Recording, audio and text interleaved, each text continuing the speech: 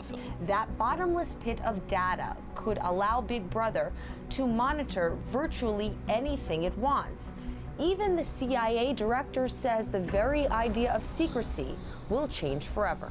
If we look at what's going on with the TSA, we, we don't see them just in airports now. They have their Viper teams patrolling around the country, checkpoints uh, that promise to continue in 2012 and escalate in 2013. Congress to fund massive expansion of TSA checkpoints. This was the scene at the Tri-Rail station in West Palm Beach. West Palm Beach police led the exercise along with the Palm Beach County Sheriff's Office and officials from the Transportation Safety Administration. Our Tampa police and federal government's agencies are teaming up. They unveiled a new plan that could stop a potential terror threat where hundreds of people pass through each day.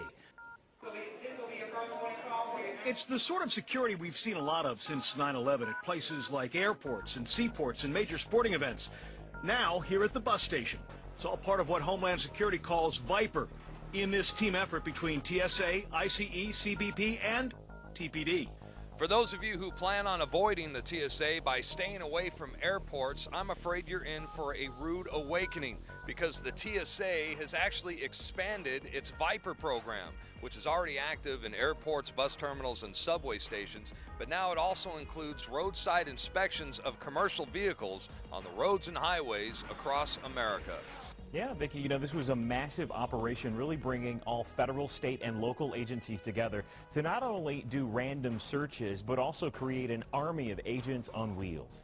But now TSA agents are on the interstates fighting terrorism with visible intermodal prevention and response or VIPER operations. The VIPER operations, we're told, have been conducted around the country. And not just at transportation hubs, but at major sporting events, in the streets, and on the highways across America. They're recruiting truck drivers like Rudy Gonzalez into the First Observer Highway Security Program to say something if they see something. The bottom line is this if you see something suspicious, say something about it.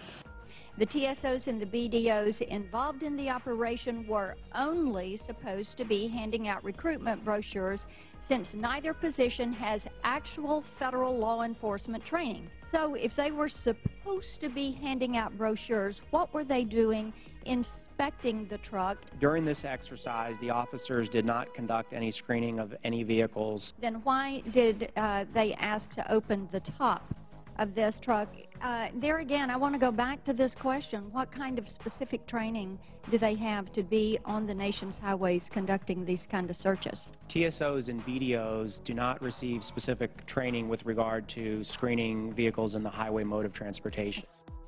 So even though our TSOs have no federal law enforcement training, you are um, pleased that they are participating in these type exercises. Again, the Viper program is set up to provide a visual deterrent. So these TSOs who have been administratively reclassified from being screeners and processors and given no federal law enforcement training are going to be out on our nation's highways and our seaports and participating in this type of activity.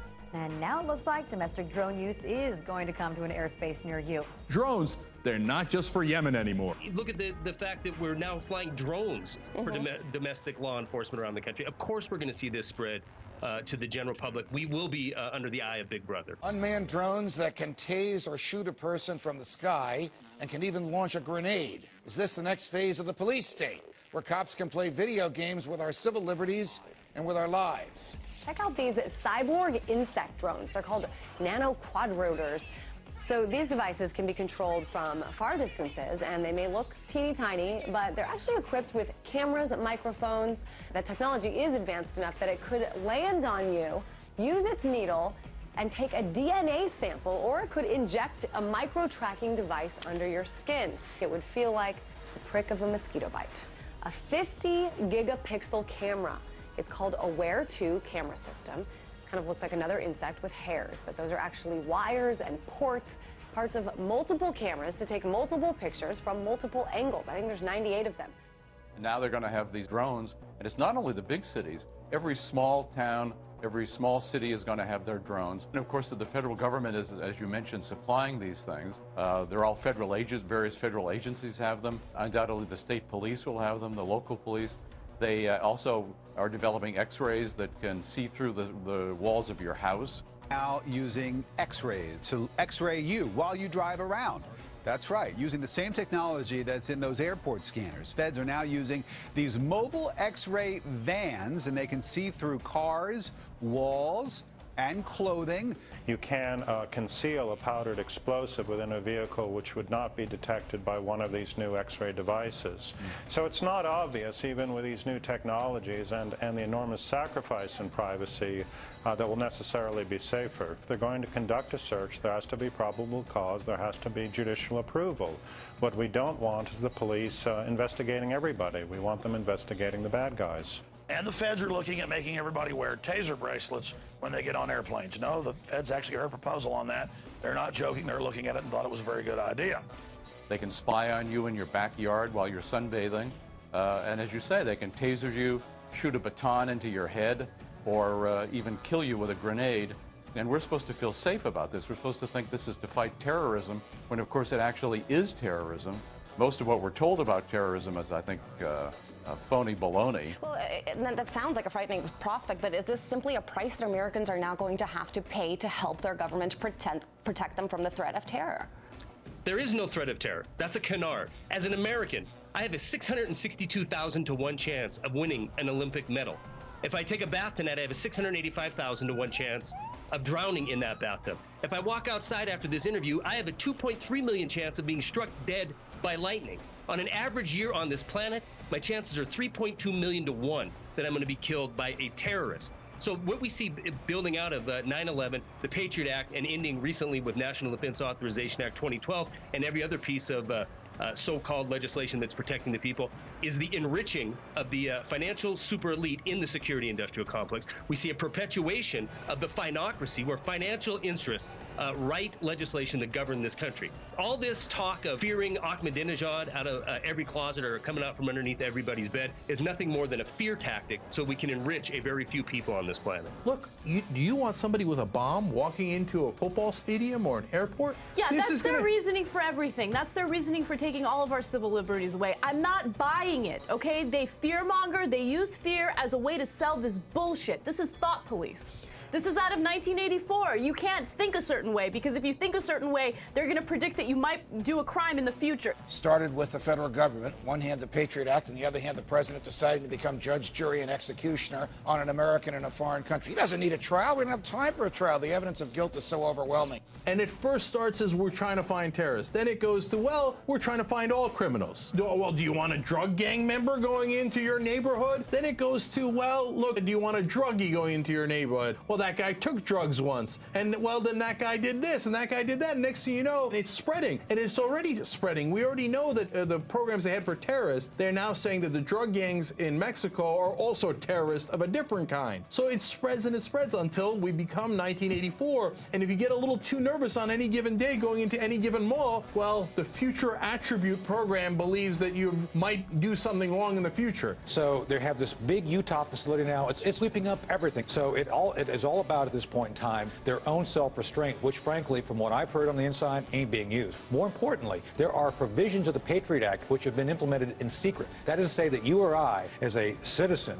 uh, do not know what necessarily we're doing to break the law because they've made the actual violation secret. The DoD has all the guidance requirements, capabilities to do what's necessary to protect the government uh, and our infrastructure now. They just choose not to do that.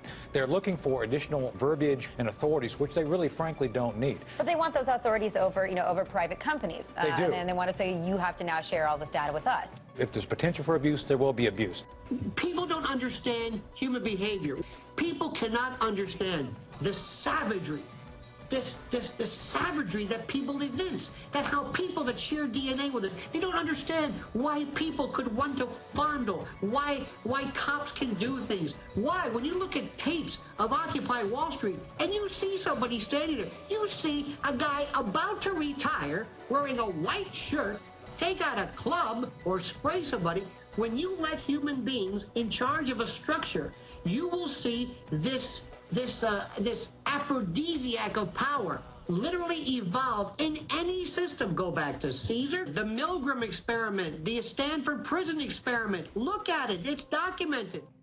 We've seen since 9/11, the introduction of the Patriot Act, and nonstop legislation since then, uh, one liberty eroding piece of legislation or one liberty destroying piece of apparatus uh, after another come to bear in society to the point where we're, we're, just kind of becoming used to it. But we need to understand that with every day that passes, every other next piece of legislation that comes down the road, every piece of equipment that gets installed that we have to subject ourselves to, we are becoming uh, more and more a Stasi-style police state. But to see it spread from so-called security in the airport to uh, the everyday life in the streets, of course this is going to happen. The devices are getting smaller and smaller every single day. And I wouldn't even say it's going to be a possibility. Like this is, it's going to happen and it will be used. Shouldn't really be that much of a surprise. Yep, until it, you know, creeps into your apartment and records all your conversations there. Thank God, though, because uh, we didn't have enough of a police state. Uh, best to try to figure out crimes before they happen and punish people for it. What can we do about this? First, you've got to get mad. We also have to focus on the vast network of industries that are making so much money off these drones and all the rest of the police, you know, the tanks that local cops have and so forth. All of your money being used to enslave you while private companies that produce all this equipment, the naked body scanners, make the money. They take your tax money, private groups profit while they turn you into a total prisoner.